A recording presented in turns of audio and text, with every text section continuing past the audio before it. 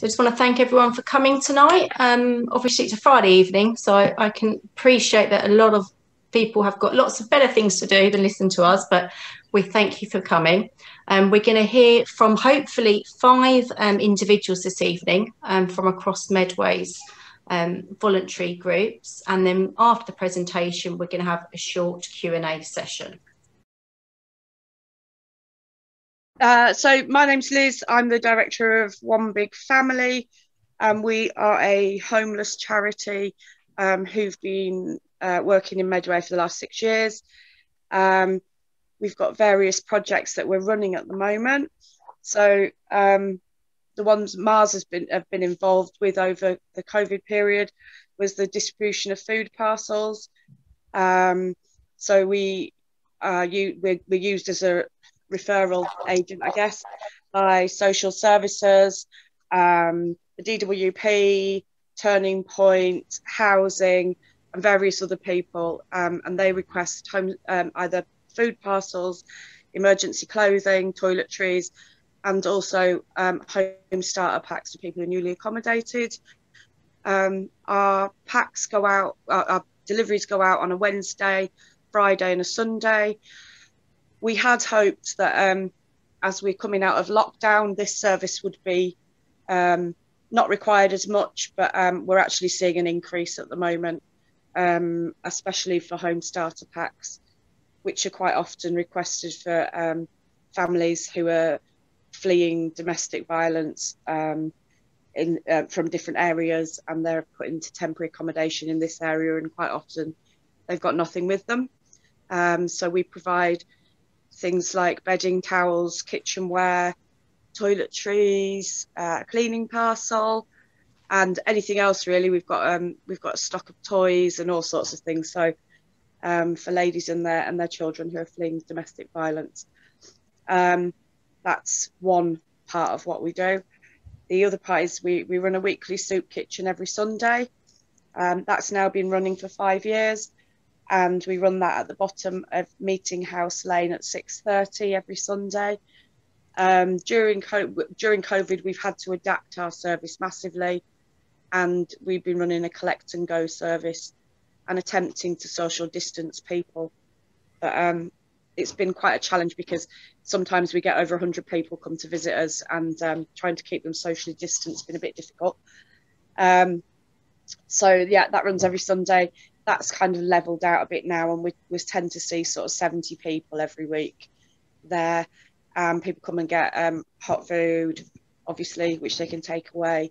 Um, we've had a provision of fresh food from there, and also we do a lot of advice and signposting and advocacy.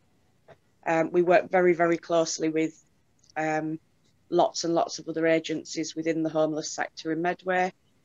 And um, yeah, so the the other project, our main project right now is we're running a temporary supported accommodation, um, which is in Medway, and th- this this charity, well, our charity, is run entirely by volunteers. We have no paid staff currently, um, so to take on a, t- a supported accommodation project was was massive for us. Um, we house nine people at any one time, and we provide the um, basic wraparound, very intensive support required so that people can gain assistance with um, any issues that may be the underlying causes of homelessness. So we're, we're always looking for people to assist with that. We've got a beautiful garden there. We would like gardeners as well, if anybody likes gardening. Um, we've got a beautiful garden. We're really lucky. Um, and it is a, it's an amazing project that was kind of gifted to us because due to COVID, we weren't allowed to run our homeless refuge, which we've run for the three years up to this one. Um, we've run a homeless refuge in, in Medway, and that provided 3,000 beds over three winters to um, rough sleepers in Medway. So, yeah, we, we're kind of really, really busy, and um, any assistance anybody would like to provide would be greatly appreciated. Um, but if you've got any questions, please feel free to ask. And thanks, Chris, for, for asking me to do this. Uh, it's always a good uh, a, a good uh, opportunity to share out the workload. Yeah, yeah, that'd be good. Harry? How many rough sleepers are there in Medway? Do you know how many there is? Currently? Yeah. Uh, not many, no. And uh, have the council been accommodating them over the uh, lockdown? So during the first part of lockdown, the government um, introduced a scheme called Everyone In. So for the first three months of lockdown, um, every rough sleeper had to be offered accommodation. During the during those three months, we were tasked with providing the on-site support in a local hotel for rough sleepers, and we had um, 80 people through that project in three months. Um, so yeah, the, the, they literally did get everyone in. Um, unfortunately, some people choose not to stay, um, yeah. which you know. Um, but but as a service, we never take our service away. If you know what I mean, we will always, even if somebody, I'm not going to call it fails, but even if somebody um, is not overly successful, we won't you know we continue to support them so there's not currently that many rough sleepers in medway i'm really pleased to say um, but it's a work in progress, you know. And and unfortunately, um, I think when the eviction bans are lifted, we're going to see a, a, big increase because yeah, it's just the way it is. And, and the financial impact of COVID for some people has been has just been devastating. You know, a lot, a lot of the rough sleepers we had um, through the hotel last year were rough sleeping because they they'd lost their jobs um, you know, and, and some of them were in um, what you would call unsafe accommodation insofar as they didn't have proper tenancies, etc., etc. So, you know, if, if you're just yeah. paying a mate an amount of money a week, um, they were kind of being told, sorry, you can't stay here, and so were put into unfortunate positions. So yeah, it's it's it's a work in progress, but there are some amazing agencies in Medway. Medway is is really lucky actually to have the agencies it's got. I'm not just talking about us, there's loads of us. Um, yeah. Thank you. Do you, does your experience of the Everyone In um, campaign, um, do you think that that could quite easily be ex extended?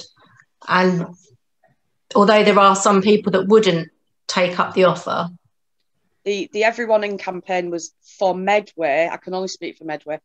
Um, was a, extremely successful because we because they were provided with support on site.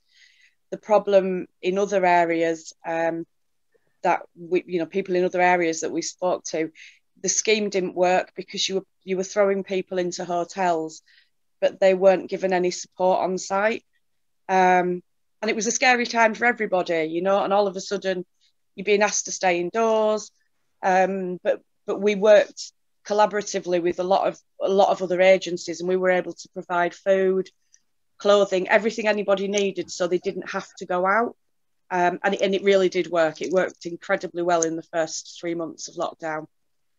Could it work? It, I mean, it could work in theory permanently, but it's it's um, it's an expensive solution. But the, you know, at the end of the day, the human beings that we're talking about. Yeah. So, um, yeah, it, it would be great if it could run permanently. Anyone else have any questions? Oh, um, I just wanted to ask what's your greatest need at the moment for the types of volunteers? Um, we'd like, oh, I've got lots of people. Um, gardeners would be great. Um, delivery drivers would be great.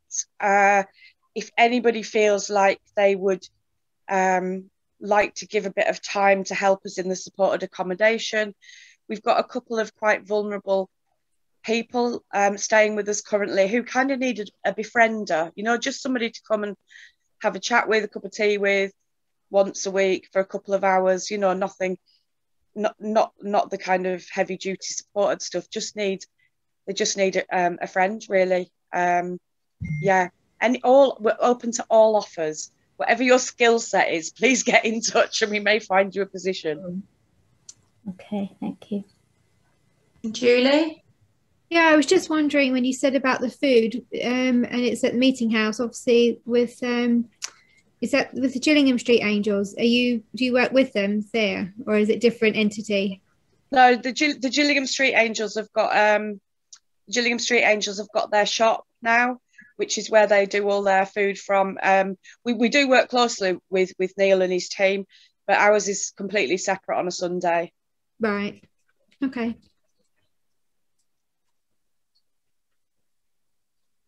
Steve, Thank you very much. Then I don't. Steve's got his hand up. Oh, Steve, go on then. Yeah, it was just a quickie to do with the food deliveries, um, mainly because of the uh, issue I had once uh, when delivering some, partly because it was in flats. Um, but the, the little pieces of paper you give with the details, the phone number and the address, it, it, um, it would be handy if there was a name as well, because with a couple of the ones I was delivering to, I wasn't 100% sure I was delivering them to the right person, because you sort of, you know, you get someone that suddenly comes out of the flat and you don't necessarily know because you haven't a name to ask. So you hope you're giving it to the right person. Yeah, it's the the only the only issue is it goes all unfortunately it goes down to GDPR and um and all that nonsense. Excuse me, my cat's just decided he would like to say hello. I do apologise. There you are. Hello, George. Um, so yeah, but no, I'll take that on board and thank you, thank you for suggesting it. So we can have their telephone number, but not their name. All it is is it's a case of if that piece of paper was to go missing, Yeah. it's a case of that has got some that has got two pieces of personal information on it, which is then classed as under GDPR. Right. Right. Bane of our life, GDPR. Isn't it? We had Right. to renew renew our ICO today. It's like, oh, Yep. that time again. It is.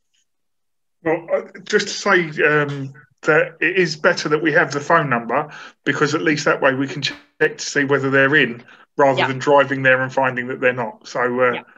that aspect of it um, helped me today with the two that I did. So it's just an ongoing thing. And I- know that when you have needed help, Liz, um, we've put messages on our groups and then the volunteers have come forward uh, sometimes so quickly it's uh, you get inundated with responses so um, as as and when you do need something we can always post a message on the group um, that that it's relevant to i only post stuff on the rainham or the gillingham group when it's stuff for rainham or gillingham i don't send them the the, do a specific post if it's only for Strood or Rochester, I'd put that on the appropriate group. Yeah, no, that's great. And, you know, thank you for all your help with it, Chris, because um, it's been invaluable to us um, over lockdown. And, you know, and, and as I say, this looks to be continuing, um, unfortunately. Yeah. And, and also, Marilyn's helped us out quite a bit on the peninsula when it's been stuff out in Hoo and Grain and so on and so forth. Otherwise, it, it becomes a very long trip. Absolutely, absolutely. No, it's been it's been amazing. And I'll get the I'll put the requests on the social media for gardeners, delivery drivers, and I'm sure we can work with you on the befriender side as well through Sheila and her team. So That'd be amazing. Thank you. thank you very much. Wait, sorry, when you mean delivery drivers, are you just talking about the food delivering the food packages, or you've got other other things that you need delivered? It's it's the food parcels, but the home starter packs as well. Okay. Um, yeah. just um, I'm starting a Hermes delivery route Okay. um, next week, so I don't know how many days I'm going to be doing it, but I was just wondering while I'm out driving around, I might be some use to just nip in somewhere else en route, so I could maybe let you guys know what I get what I get organised, and then whether I could be of any help while I'm out and about. Great. Awesome. Hey, are we going to share the Zoom call with Liz after? I know that Liz has Yeah. got to go off to do something else. Yes, at least once it's way- all sorry. That's fine. Yes, so once I once I've edited it all, um, probably Monday, I'll send it out to everybody that registered, um, and make sure you've all got it. So if you want to watch back because you've had to shoot out and miss some of it, or just to recap, it's there for you to have a quick look through. Brilliant. Wow. That'd be Right, thank you very much, Liz. Floor is yours, Sheila. Thank you very much. Um, evening, everyone. So I'm going to talk about the Let's Get Chatty service, uh, of which I'm the coordinator. Let's Get Chatty service started um, at the height of the pandemic in March, March last year. It feels like it's been going for much longer time, but yeah, it's been a good year, been very, very busy. Here you can see a picture of the um, committee, the team, my very helpful, amazing team. Um, wouldn't be able to do the job without them. So um, here they all are. Some Steve's here tonight, Kate's here as well. The others weren't able to make it, but yeah, this is my team. Uh, so the Let's Get Chatty service, yeah, came about as a pandemic. There was one volunteer, one phone, um, but over time, it's grown to about 30 volunteers, and uh, we've had loads of people coming through our doors. We've reached about, we estimated around ballpark figure about 80 individuals across Medway. Um, there's many referrals that we do take, but then we can't um, continue with them because the clients become quite complex. So we're always mindful of who we can support. Um, we've been offering telephone support since the very beginning, one-to-ones, and we've kept that going. Um, the number of referral agencies that we've got has grown a lot as well. Uh, so we are able to take referrals um, from different um, people at the time, um, and we're extending that as we go along. Uh, so here I list off some of the agencies that we've forged relationships with, and I've met with another two today, uh, which I will probably add on. So it's growing all the time, and um, I was speaking to somebody in Canterbury today who's also heard about us. So um, message is going out quite far now about the work that we're doing, which is great. Um, people are wanting to sort of link in as well because there's not a lot of befriending services out there that are doing what we're doing in the way that we're doing it. So that's good. So um, just to say that we have, um, yeah, we, we're, we're a very well structured group. We have various meetings and we also support other organisations through the various forums that we, we sit on. Uh, so um, again, that's really great and how we can support each other. So one of the things that we did in September, just before the second and the third lockdown is we were able to start our coffee chat and connect sessions. Uh, because with all the telephone befriending, it was really people wanting to start to see each other again. And they were very successful. We only managed to do two because of the lockdown, but the ones we did, it was really great for people to see each other, meet, connect. Um, and we've had to halt them for half a year because of lockdown but we're hoping to continue them next month and start them again. And I know people are very keen to get going with them again. So we do we do one in Rochester, and we've also been doing one in Gillingham as well. So people are welcome to attend these if you want to. You don't need to be a member of the Let's Get Chatty service.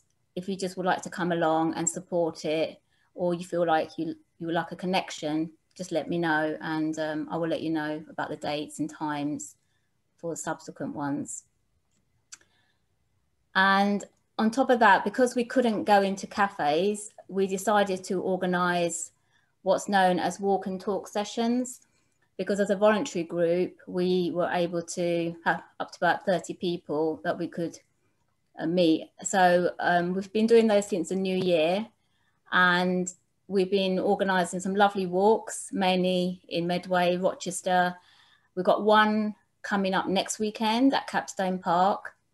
These have been proving popular as well because not only because people can connect, but also the social aspect of being outside and going for walks in nature. I was thinking initially that this would be an interim thing before the cafes open, but because they have been so popular, I'm going to keep these going. And uh, yeah, and we're getting lots of people who aren't members wanting to join as well. Uh, Medway Council normally refers people to us too. So again, if you're interested in the walk and talks, uh, let me know and I can give you dates and times. So the last uh, uh, scheme that I've been involved in is the Pe International Pen Pal scheme.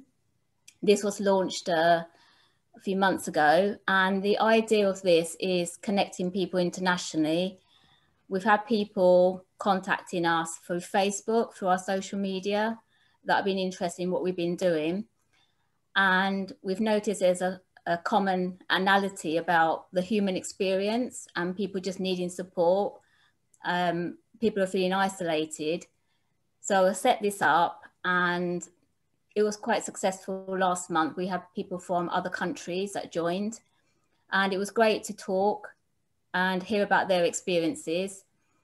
Uh, one of the things we realised, those of us who attended, and I know Julie was there, is um, how grateful we are to be living in the UK compared to some countries which um, haven't got furlough schemes or anything like what we had during lockdown. A lot of them are living in, some are living in refugee camps and things. So it's been great in terms of learning and communicating and having empathy and supporting each other as well. So I've got another one of these events coming up this weekend on Saturday, and Michelle, who's here, is going to be coming to speak to us as well about social isolation. Um, and I'm hoping to build this community, this international community, and invite different speakers. I was speaking to someone today, and she's saying that university students are interested in getting involved as well. So um, I think it'll be a great initiative going forward. And again, if you're interested, let me know. So we, we've been very fortunate that we've received funding for this work. We got £4,000 from the Testbed Fund, and that's enabled us to do various things. Due to lockdown, we haven't been able to use the funds in the way that we, would have liked, but um, here, I won't go through all, through all of it, but you can see some of the things that um, we have been doing with our money and we're hoping that we can start to use it and uh, yeah maximize the opportunity that we've got through this uh, for these initiatives that we're doing and so yeah again there's various things going on as you can see we're quite busy we're happy to work with any organization that needs support with befriending or they you feel like you we, they will benefit by coming to us and uh, yeah just do do get in touch if you're interested Thank you for listening. I'm happy to take any questions. Well, thank you very much, Sheila. Um, so on top, you've got the um, event tomorrow that you're doing with the International Pen Pals. And then I believe you're doing a walk and talk. Is it next weekend? Yeah, on the 15th, we're doing another walk and talk. Um, if anybody wants to be added to the mailing list and to know about these events, just let me know again. We can post the details. Well, thank you very, very much. So now we're going to go across to Barry. Um, if you're ready to go. I'm all ready to go, thank you. Uh, Lions, Club of Gillingham. We're part of a, a worldwide organisation which uh, are active in 212 countries around the world, and we have one point, approximately 1.4 million people uh, as members. Um, in the UK, we have about 12,000 members, over 600 clubs. And Gillingham is the only club in Medway because unfortunately we had two, but Medway Club closed down 11 years ago. Mm. Uh, our club has 17 members. Unfortunately, out of that 17, we've probably got about 10 who are active. Uh, the others either have disabilities or are just too old now. Uh, my eldest member is 92. Uh, two years ago, our average age for our club members was 68. And in the UK, two years ago, the average age of a member was 68 also. So we are an quite an old organisation, if you like, uh, and could do with some younger people. Uh, what do we do? Uh, our motto is we serve. So we try to be a service, you know, to anybody who needs it. We do uh, lot of work with guides, scouts, you know, young people, uh, sick children, families, elderly people. We do eye testing uh, at Special Olympics throughout the world. We help deaf people and disabled people, help blind people or partially blind, uh, two of the things we do, uh, one of the things we do worldwide is uh, Sight First, where we collect used glasses. I go to uh, Specs, uh, not Specsavers, Boots and Vision Express in Chatham every couple of months and gets glasses. They get sent to our club in Chichester, who sorts them out, sends them to a club in France, who then grade the glasses, and then they end up in various places in the world being given to people who need them. Uh, two years ago, the Lions, along with Moorfields Hospital, opened a hospital, eye hospital in Ghana uh, which is it's a teaching hospital as well. So everybody from a lot of African countries go there to train. Uh, but that was help, you know, a, a, joint thing between the Lions and uh, Moorfields. Uh, my club itself, uh, one of our members is from Sri Lanka, and he started uh, up a thing called Sight Sri Lanka, where he he's helped so far in three years, they've operated on 500 people to give them their sight back. And he goes a couple of times a year. But basically, our club, uh, we go out of the funds we raise, uh, 80% is goes to local, and 10% goes to national, and 10% goes to abroad. Uh, and that we feel that's a, a reasonable split because and it's local people who raise the money, so therefore most of it should go to local people. Uh, I'm more interested in myself and what we do locally, and uh, our big problem we got is, I said, we've only got 17 members. We are in a process of trying to uh, establish a new club on the peninsula, uh, but until after lockdown finishes, we can't have meetings or uh, information evenings. So this is something we'll be looking forward to doing in, say, hopefully June and July. And if we can get anybody, more people interested in another club, that means Medway will be better supported. Some of the things we actually do locally is that, a bit like Liz was saying, we help people out when they've come from broken homes with bedding, quite often you can guarantee every month we get a request for a washing machine. Uh, and you know, we do what we can with what little money we have. Because we don't we don't have a we don't make a lot of money a year. I could say that possibly average about ten thousand pound a year, which isn't a lot for what we do. But uh, we're also quite willing to give up our time, you know, uh, helping in projects which don't involve money it just in involves time. So we'll go out litter picking. Uh, we help help anything really, any reasonable request will help doing. If some of my uh, members are interest in gardening, I shall ask them to get in touch with Liz and go and help do the gardens there, if they're capable. As I said, you know, our average age is 68, so a lot of us can't bend down to do gardening. That's easy. Um, we have a lot of things, lot to do with uh, Medway Hospital. We uh, buy presents and donate money so the children can have a Christmas party at Christmas. And in the summer, we uh, donate money so they can have a children's picnic down at Riverside. Uh, it's lovely. And you know, that is basically, you know, we, we try and help people uh, in difficulty where we can you know, if we've got the funds and there's a, a need there, we'll try and see if we can uh, help them out. We support the guides, uh, as I said, we support the scouts mainly, uh, Gillingham Scouts, but they do help us at Christmas. They help us man our Sligo going streets.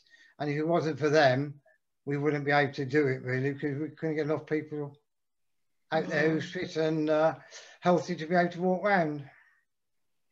And that's it, really. I mean, there's a lot more we do, but that is uh, the base of it. Oh, there is one thing we do do is uh, we do a thing called message in a bottle, and it's just a little bottle where people can have it who's got medical needs, and they fill it, fill the form out, and on that form, it, you put down what medication you are on, and all things like that. And you put a sticker in your on your front door, your front window, and any emergency person who comes along, fire, ambulance service, sees that sticker, will know they go in your fridge and there will be your message in a bottle and they can find everything you want.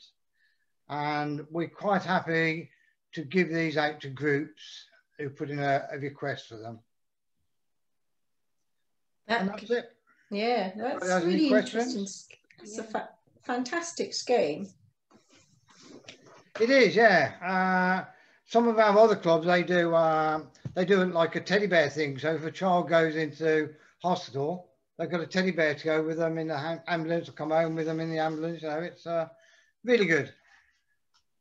I've been I'm on the Facebook groups. I've been seeing some of the what you guys have been up to across the country, and it is it is really awe inspiring. It's very impressive. Yeah, like everybody else, we, we have no we have no paid people in our organisation. The only paid people in the organisation, there's uh, one person in Birmingham who actually runs the office for the UK.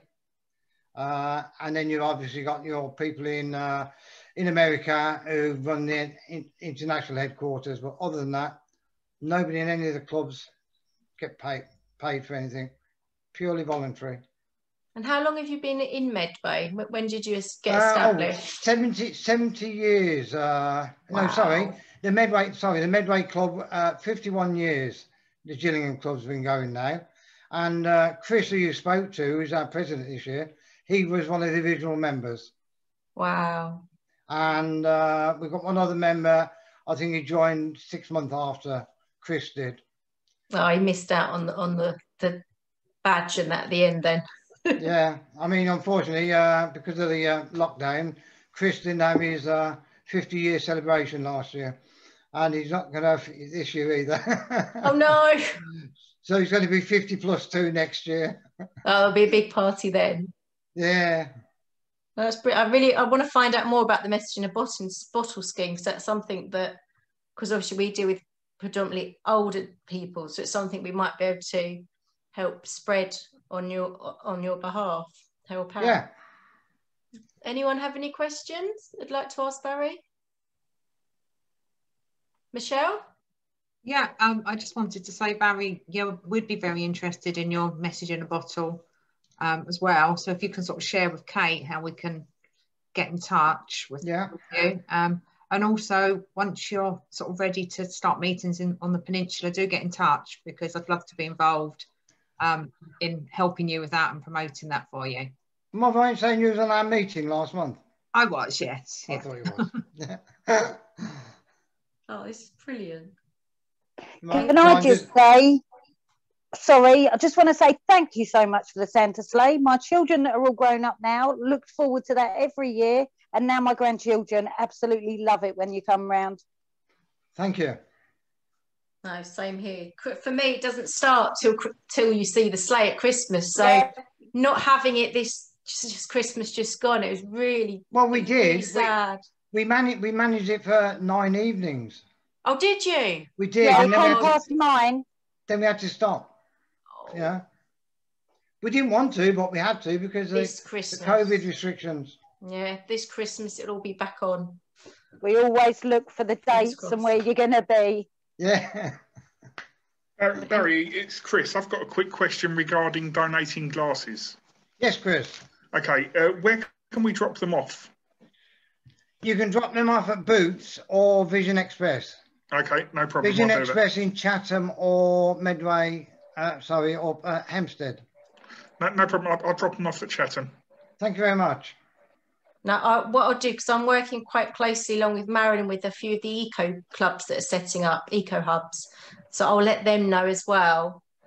Could I please ask you not to include the uh, cases, just the glasses, no please? Just no because, cases. Uh, I don't think the council quite like me putting 200 cases in a bag like you know, and disposing of them in the normal rubbish. Uh, when they open it, they think it's trade rubbish and they know we can't take it. Oh, no, it'd just big glasses on their own. I mean, tell, tell you how good it is. Uh, um, next week, I'm going down to Chichester, Chichester because uh, Parcelforce used to deliver the parcel free of charge and they stopped that. I'm taking about 20 boxes down.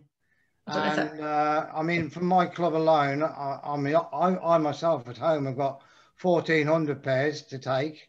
Uh, Chris, our president, he's got another three boxes, so that's probably about 1,200. And I know uh, on the way I'm going to East Malling, uh, West Malling, where another our club is, I'm picking 1,200 pairs from there. So, you know, there's lots of glasses out there which will only get thrown away, but they yeah. go all around the world. The, the good thing when I mentioned about the uh, the hospital in Ghana, uh, some of our glasses, what we what we send over to France, actually ended up being issued out in Ghana. So you know, it's just fantastic. You know that mm. there's an end product. You know, you find out where they go. No, it's definitely. And when do when do you say you're going to Chichester? Yeah, I'm going. I'm going next Thursday, but next Thursday. No I got no room in the car for anymore. Oh, you haven't got any room. Ah, never mind. I was going to put a shout out. If you've got no more space, I won't put a shout what, out on. What, we have uh, we have zones, and there's four clubs in our zone, and uh, I'm taking some from each of those clubs, so I won't have any more room in the car. No, fair enough. Fair enough. Well, thank you very much for joining us. Um, and I'll circulate the video afterwards with contact details as well for you and Chris. Thanks for the invite. Brilliant. Um, so I believe we're now going over to Michelle.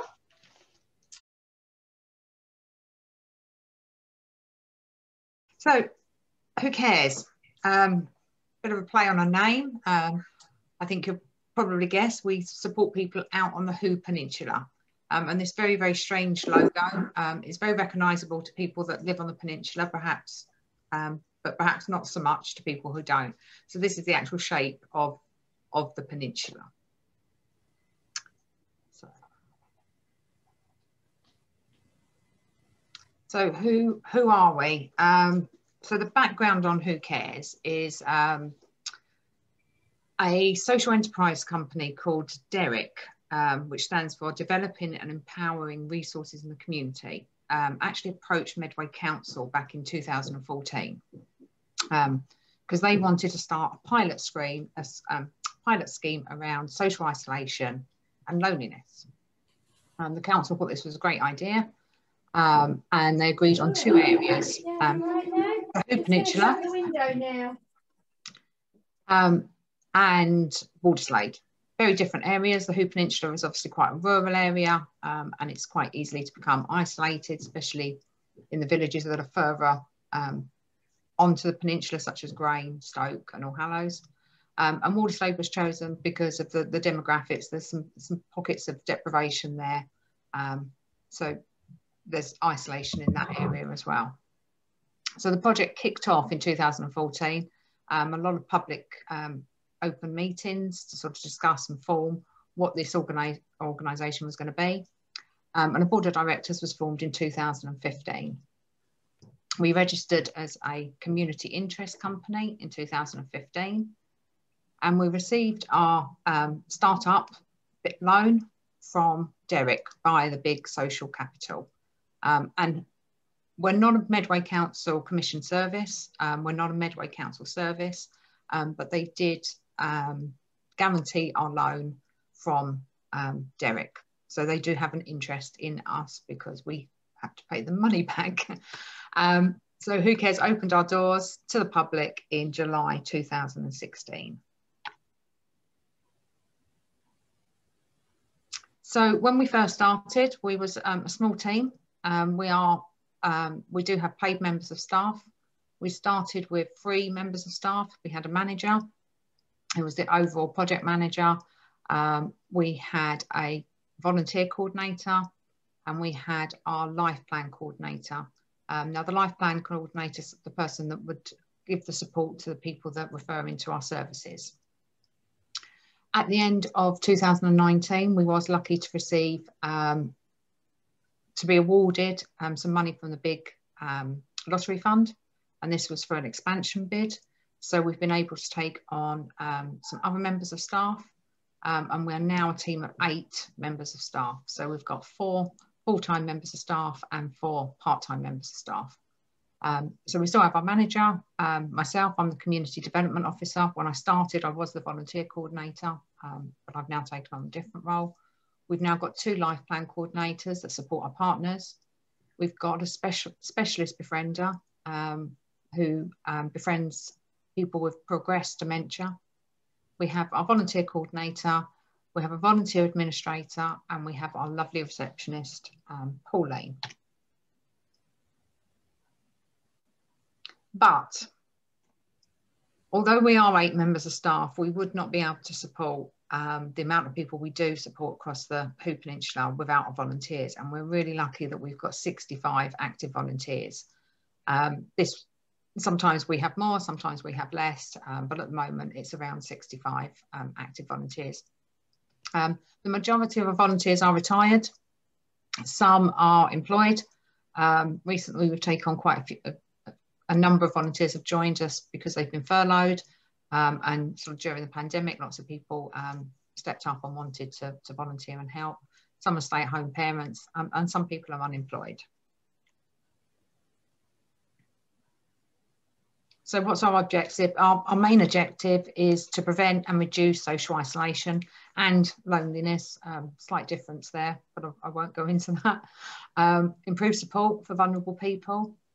Um, and, and, very importantly, improve support for carers um, and the pe people they support.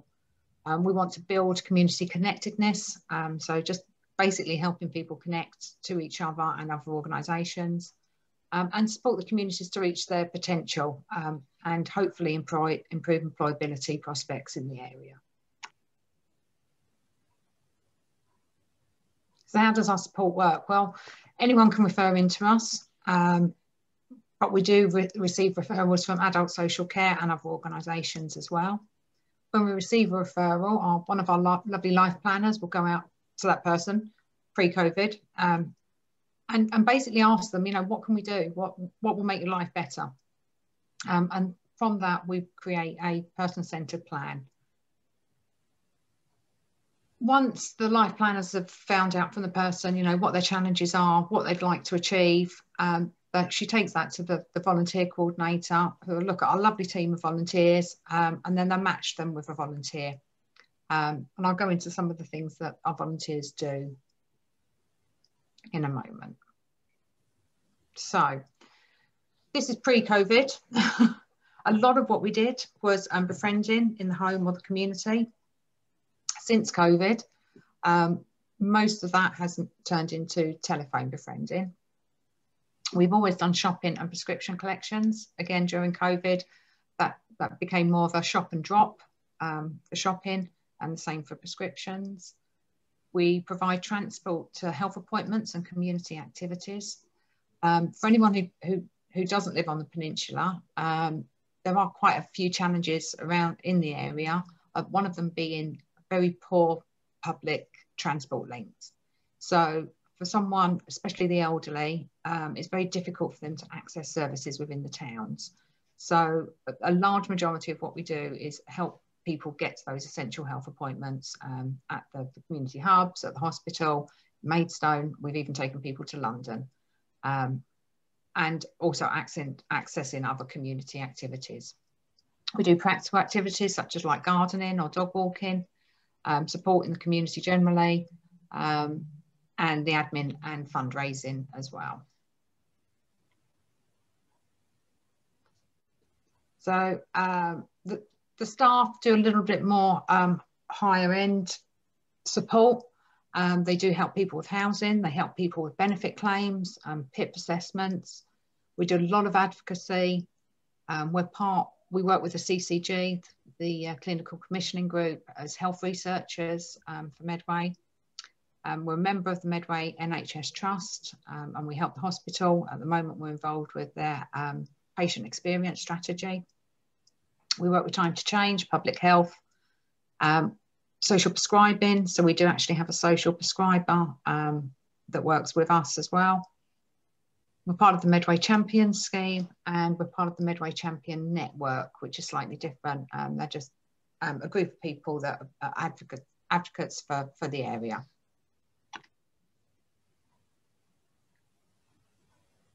Okay. I think that's me. Any questions? Yeah. Hi, yeah, I just want to check if you got the befriender that helps people with dementia. Is it only people in Hoo or can we refer people from Medway? No, we're very, very area specific. Um, our support is only for people that live in the ME3 postcode or Upnor because we, we, we consider Upnor to be isolated as well and some parts of Higham actually, which are, is not always actually Medway. Um, so yeah, unfortunately, we're very area specific, um, the type of support that we give. Um, and I don't think we'd ever sort of come away from the peninsula because we were set up to support the people of the peninsula, peninsula and their very sort of unique challenges. Um, so yeah, okay. it will always. But we do have um, our sister organisation in Walderslade that covers the ME4 postcode, um, and ME4 and ME5, I believe. Mm. So, and you've also got the MVA befriending scheme. Yeah, we're aware of that one. Thank you. So you have a there are, you have a specialist befriending because I noticed it said Walderslade, so you do have still an opera, operative sort of uh, system for Walderslade. So, but um, and Lordswood together are our sister organisation, um, but we are two completely different organisations. And we was just set up at the same time. Um, we both received our funding from the same source, but we are two separate organisations. But we, we do we help each other, but we're we're not not the same team as such. No, what I was thinking, though, if we if we have someone who we feel might complex needs such as dementia would benefit from a more specialist agency and mm. they live in Walderslade, would, should we come like through you to, or c- could you give us the details of the, of the, the Walderslade agency to contact as well? And Yeah, no, absolutely. We could, yeah, I can give those to Kate, um, yeah. the details of the our sister organisation, absolutely, yeah. Yeah. yeah. And and did that bef- dementia befriender come to you fully trained, or were you able to put them through the training that was required? So um, we actually received funding for, for Mark, our dementia befriender. What, what happened, a lot of the people we support do have dementia, um, but it became increasingly more difficult for our volunteers to support them as the dementia progressed. Um, so we thought we actually needed specialist people to help. Um, so we receive funding to employ someone. Mark works 16 hours um, a week um, and he's has his background is he's a mental health nurse. Okay. So he comes with he comes with a you know a, a yeah really skill high skills um, set.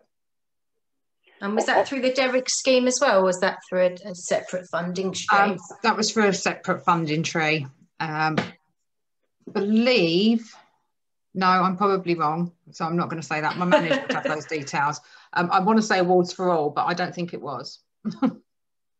No, it's no no problem at all. I'll have a have a Google because we're, we're doing some PTSD training, um, but there we, we've got a couple of, of individuals that have got dementia, so we are thinking we need we're getting in a bit over our heads, sort of thing. So we, we want to either pass them on to the right people or get the training that we need to be able yeah, to, I mean, to do Kate, justice. We, we, can have a chat. I mean, Mark does do um, a training session for our volunteers um, around dementia. Um, okay. So we can have a chat sort of another time to see if we'd be able to supply that or That'd deliver that for your volunteers. Fantastic. On a, on a practical side, Michelle, sort of pre-COVID, but also because you mentioned like taking people to hospital appointments, how how does that work in, in the sense of um, how, how many volunteers accompany the um, um, your client? Pre pre COVID or well, both, the, really, because it's, it's, independent of the COVID situation. I'm thinking, you know, yeah, like with, with, with taking people to hospital, so to speak. Yeah. So so um, pre-COVID, we didn't. You know, there wasn't really much of an issue. Um, we we can't transport anybody that isn't able to um, transfer from a wheelchair to a car. Um, if they're they're actually not able to transfer, then we have to direct them to sort of G4S or another organisation. Mm. Um, but generally, yeah, it would just be one volunteer um, supporting the partner, as we call them, our clients. Yeah. Um, and if if they needed to be accompanied, um, we would accompany them to the appointment as well. So it's not just a sort of transport. You know, we'll drop you off at the at the hospital and we'll pick you up again. If they actually need us to take them into the hospital um, and sit with them, we, we do that as well. A, a lot of our partners are hard of hearing, so they often need support at sort of doctors' um, appointments Yeah. because they, they really can't hear Yeah. um, some of the information um, and, and get embarrassed to keep asking. So if they've got someone there listening, they can sort of tell them another time. So really, we're, we're, small enough that we're not in a box yet. We're always trying to have that support to be really holistic, to, Mm. to support whatever that person's needs are. Um, and yeah, just do what we can yeah. during COVID, it's been a little, little bit more difficult. There's been lots of new policies, lots of new procedures, lots of new guidelines, um, and we've we've been very very strict actually um, about volunteering and supporting partners with um, you know PPA, our volunteers um, getting tested, um, the amount of times they were able to support some a person in a week. Um, so there's been been a lot of guidelines and, and policies and procedures around COVID just to keep everybody as safe as possible, our volunteers um, as much as our, our partners. Mm. Yeah, that's what I was thinking of. If, if, if you've got like one volunteer with a partner, um, in a sense, um, how do you protect the, uh, say, you, you as much you'll volunteer in, in situations like that from something Yeah. happening? I mean, we, we, we was lucky enough um, that we received lots of PPEs. We got masks and hand sanitizers. We even bought um, our drivers those shields that you can put in your cars, just to sort of Oh, shield right. everything. So the driver would sit at the front, the passenger would sit at the Yeah. back. Um, so we just tried to, you know, eliminate risk as much as possible, um, but still be able to help people when they needed it. Yeah. How much do the shields cost? Um, they was about thirty pound each. They're what, you just, the yeah, there was like nylon one, uh, like plastic ones that you could put on with Velcro, yeah, mm, but just as like an added level of protection, really. yeah, yeah, yeah, and that could be hmm, food for thought, certainly. Um, I had another question. Um, when you your volunteers go out, are they always accompanied by another volunteer, or do the volunteer like for health and safety that sort of thing, or Yeah, most of our volunteers are what we call lone working in the community. Um, so they would be supporting the partner out in the community by themselves. Um, and it's something who cares are quite quite hot on in that all of our visits are pre-booked. So we'll always know where our volunteers are and who they're supporting. Um, and once they finish that visit, be that a befriending visit or be that a transport visit, they call into the office to let us know that they're safe and the partner's safe. Um, so yeah, it's something that we're quite quite hot on. If if a volunteer is is lone working in the community, we, we we need to know that they're safe at the end of the day. okay, so you don't need two volunteers for. No, generally we don't need two volunteers. Um, Okay. I've got a I've got a question. Sorry if I've already if I might have missed it because I've just been checking on my nan. So I'm like, um, for a couple of the people, uh, one one person in particular that I've been doing shopping for, which uh, Sheila and Kate know about, they have asked for other help in the house. So I'm wondering is that something that the volunteers that with that you have can do, or that as Mar it can be done, or there's a way around it. Um, for instance, the gentleman, older gentleman, you know, he's in his 90s, said his curtain rail fell down and he wanted to have his curtain rail put back up. Mm. So just to see, like, for your thoughts, how you would handle it. yeah, I see. Generally, we would say um, volunteers wouldn't do tasks in the house, um, Yeah. especially anything that would would perhaps be considered a health and safety issue. Yeah, Um, so if there was a need, we would look at it. but We'd obviously have to look at the, the health and safety side of it as well. Um, some of our volunteers do help in the house, but they're always sort of pre-agreed with the volunteer before. Um, we've got one volunteer that would go once a week just to help um, a lady prepare vegetables, um, not actually cook a meal, but just actually prepare all her vegetables for the week so that she could cook um, during the week. But that was always sort of pre-arranged. We wouldn't ask our volunteers to sort of go into a house and, and, and, and do tasks that they're not happy to do.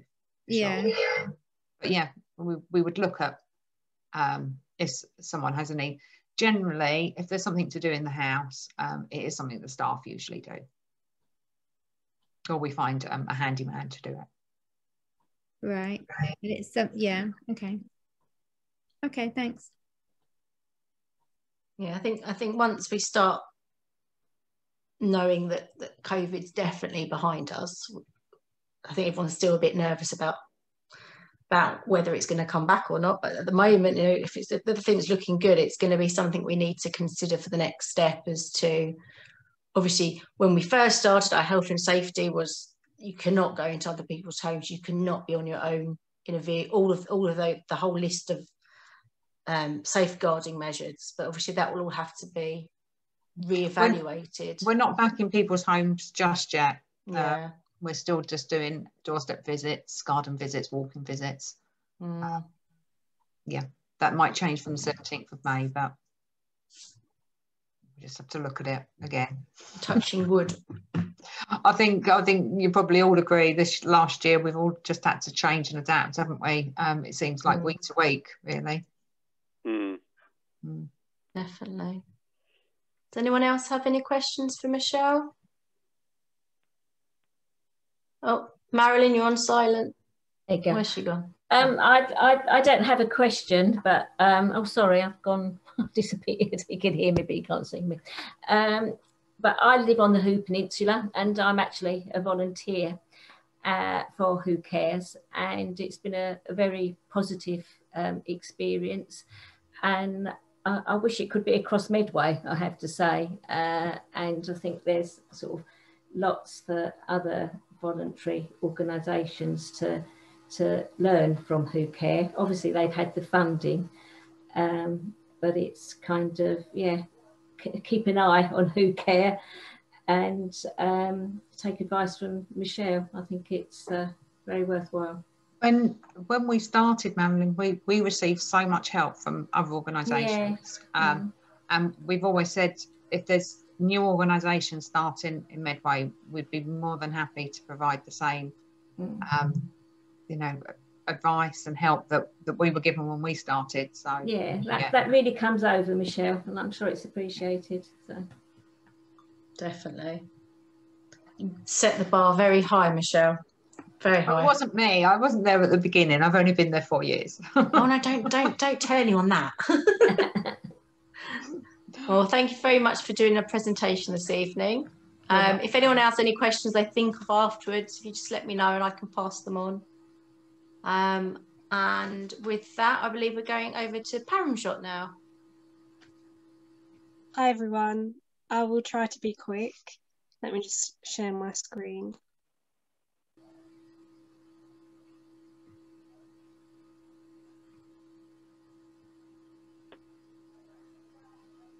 Okay, so Sahara is um, is a word that in Hindi and Punjabi means support or help.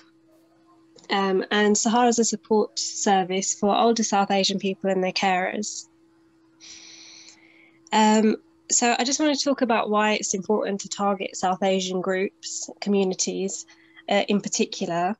So BAME people, that's a general term for Black, Asian and minority ethnic people um, experience things called health and social inequalities. And these are things that come together and generally like make for a lower quality of life for people in those communities. Um, so we know that BAME people have uh, lower life expectancies and an even lower disability free life expectancy than their white counterparts in England and Wales. So, on average, we die uh, sometimes almost 10 years earlier than our white counterparts. And the life that we do have left, most of it, more of it rather, will include various health conditions. Um, and we've seen the health inequalities play out during COVID as well. So 50%, we're 50% more likely to die from COVID, generally speaking, on under the BAME umbrella than our white counterparts. Um, so those are some pretty staggering statistics. Uh, that's sort of one reason. Second thing I want to talk about is loneliness. Obviously, it's not something that just impacts older people or South Asian people. Um, and we know that loneliness has massive implications on mental health and physical health. Um, it's associated with developing coronary heart disease and stroke, high blood pressure, uh, developing dementia. It's predictive of suicide in older people. Um, and if we put in things into perspective, what loneliness is like for older people, over 1 million older people say that they always or often feel lonely. And half of all older people in the UK say that the TV is their main form of company. So, as I said, we focus on um, older people, um, particularly South Asian older people. So, people that may be experiencing more loneliness because um, you know there are so many great services out there for older people but when you factor in things like language barriers and um, sort of cultural stigmas things like that makes it even harder for south asian people to access those services and also dementia again is something that affects so many people um, in the UK, there are 850,000 people with dementia. That's set to rise to 1.6 million by 2040. And um, around 25,000 of those people are from the BAME communities. That's expected to double by 2026, with the steepest increase expected in South Asian communities. So basically, it's um, it's really relevant to all of us. But being from um, an Indian background and having been a carer for my grandmother who had Alzheimer's, I'm very aware that we don't we don't know what dementia is, and most of us aren't uh, willing to learn about it either. So there's some big gaps in knowledge, in information, and it has a massive impact on the quality of life of uh, the people that suffer from dementia and their carers as well, who suffer along with them. So, what's Sahara all about? Basically, taking all those things into account, it tries to bridge that gap. Um, it tries to create more social connectedness and bridge that gap so that people have access to the knowledge, information, and services that are already out there so one thing that we do is befriending. I say we do. It's it's started and it's it's very difficult to get it off the ground. Um, but we have about three or four befrienders now. Um, so it's telephone befriending. It's befriending in the languages that are native to the people that need befrienders. Um, so at the moment, I've got one Urdu speaker, which is amazing. I've got uh, some Punjabi speakers and one Hin- Hindi speaker. So great. Need more. We started yoga classes. Uh, it's yoga in Punjabi at the moment. That goes on every fortnight on Zoom. And I want to take these to um, in person classes too, but I just need to find a yoga teacher that speaks a language that's appropriate which is really difficult. Social activities, something I wanted to do before COVID, but wasn't able to do. That now restrictions are easing, we'll have some meetups. Um, Age UK have kindly offered us their venue. So um, it's just about planning it, promoting it, and getting enough engagement so that people, you know, there's nothing like this out there for South Asian people, and there hasn't been for years. So, how are we going to build that trust with those people and engage them, get them to come out of their houses and join us? How are we going to make it worthwhile for them? That's going to be a big thing. Information and advice. Like I said, it's about bridging that gap, letting people know about the resources that are out there, about you know care need care carers assessments, care needs assessments, home adaptations, um, free bus passes, blue badges. There's just so many things. Um, it's about being that support. And over the last few months, when it's really taken off, we've also done things like um, providing meals to um, people that don't have them, hospital appointments, opticians appointments, things like that. So a little bit of everything. It's just about being that advocate for that person, a friend for that person. Um, and like I'm sure you all know with the great services that you've already spoken about, it's just trying to be there for people. So that's what Sahara is. Volunteers are needed in every every capacity, every kind of way. Um, you know, I need befrienders, a lot of befrienders um, that speak Punjabi, Hindi, Urdu, and also there are so many other South Asian languages that it, feels like, how am I ever going to get there? But yes, that. Um, and also just volunteers to do help with other things as well. Um, all the social media promotion, everything, I do all that and planning the events and managing the volunteers and sorting out the training. We don't have any funding. Uh, we need to register as a charity or something before being able to apply. And yes, um, there are many milestones ahead, and I'm just trying my best um, because I work full time as well. So, yeah, that's it. If you have any questions, please let me know. There we are. That was brilliant, Paramshot. Thank you. Thanks.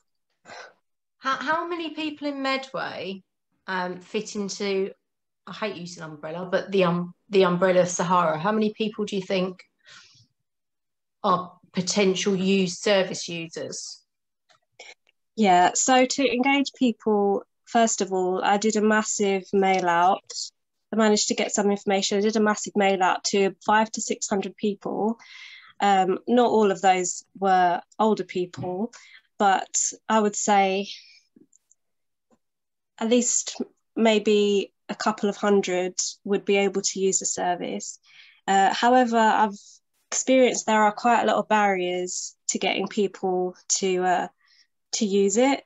I mean, it's generally, you know, nobody wants to wants to feel like they're lonely or ask for help or mm you know there are so many barriers out there um, but as time goes on more and more people are coming out of the woodwork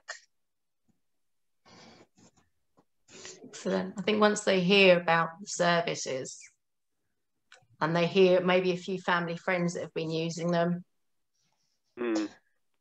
i mean old people in general regardless of their cultural upbringing they're always a little bit skeptical of asking for help in any form so yeah. it's always going to be a challenge. Yeah, that's very true. And uh, also, if you have a look at like the way that things have been culturally speaking throughout generations we would have normally lived in larger families uh, with you know generations living together but that's something that's changing now and i've noticed that people that are living alone or people that feel like they've been abandoned by their families, they don't live with their sons, etc. They feel very ashamed about it and they feel very ashamed to ask for help. So I've, you know, I help someone that doesn't want me to tell anybody who she is because she feels like people know her and she doesn't want them to know that she needs support. So um, yeah, it's a big cultural thing as well.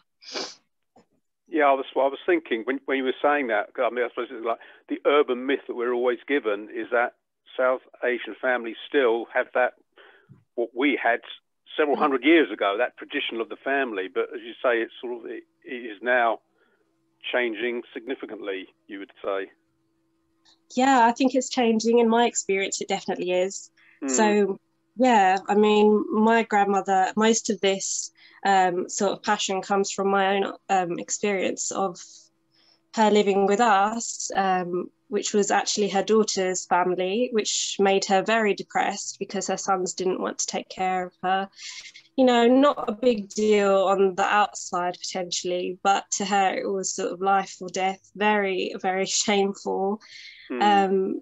and it's not just her it's not just her. Um, you know, more and more people generally we you know we're going to have more older people as as life goes on um, and more of them will be living alone as well so it's something that we can expect to see a general Yeah. shift towards people living alone As Kate was saying, I mean, everyone, it's human psycholo- psychological to sort of like re- try and retain your independence and, and not, you know, feel you need to ask for help. And as you say, there's that pride element as well. So, but uh, Yeah, the suppose as Kate was saying, you know, if you if you get a few, then then it will be like a snowball, and you'll have more attracting. But I guess like Kate and, and also Michelle and that could be helpful in, in trying to guide you towards applying for grants. Would, would I be right in that? Oh, definitely.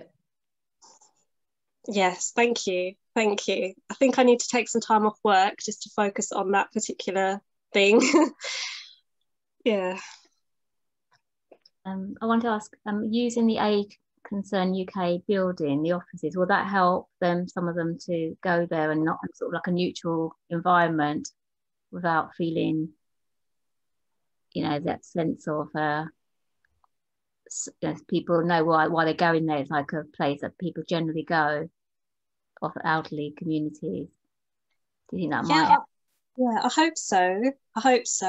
I'm kind of a bit nervous because I think that even having it at Age UK might raise some um, concerns for people that you know we need elderly support services. but you know these are just things that some people will have to come to terms with because Hmm. um, you know it's a great space. I have a kitchen and everything, so.